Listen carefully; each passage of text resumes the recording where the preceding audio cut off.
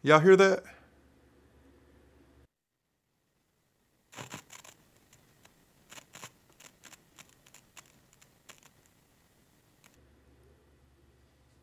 That's the sound of my monitor station version 2. It's crackling when I turn the volume knob, which has gotten really annoying to the point that I'm ready to go ahead and try to fix this. So I've got some electronic cleaner that I got from Harbor Freight and this uh, brass pipe or tube that I got from Home Depot.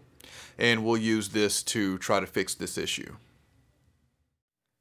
Okay, so the first thing we're going to do is power off the monitor station. And then I'm going to remove the volume knob. And I'm going to put this pipe over the stem here. And just make sure we don't make a mess. Just going to lay some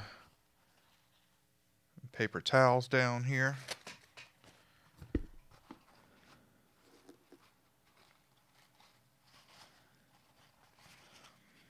All right. And we'll take the electronic cleaner.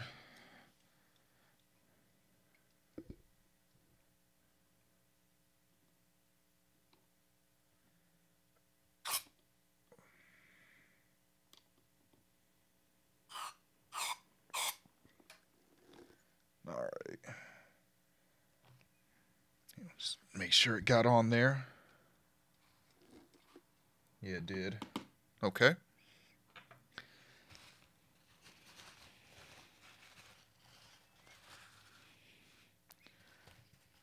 And get the volume knob back on here. Just rotate it some.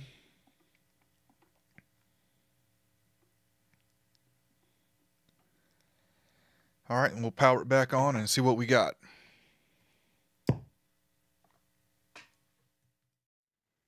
Okay, so as you can now see,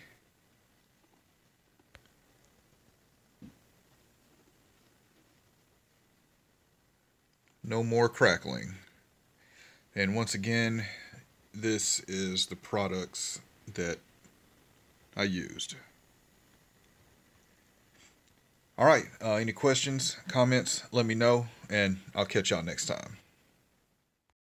I want to invite you to check out my podcast, the Faders Up Podcast, where we discuss pro audio and beyond. We discuss everything from recording to gear to the music business. So if you're an audio engineer, songwriter, recording artist, music producer, this podcast is for you. We recently started season two, and we're going to have a lot of listener questions on this season, as well as some really cool guests that's lined up and giveaways as well. So if you've already subscribed and followed the podcast, thank you. If you haven't, it's available on all platforms, and I encourage you to check it out.